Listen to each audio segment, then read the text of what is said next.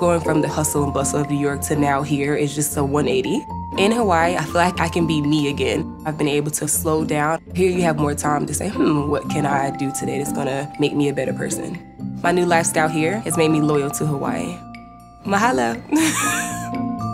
Loyalty is everything.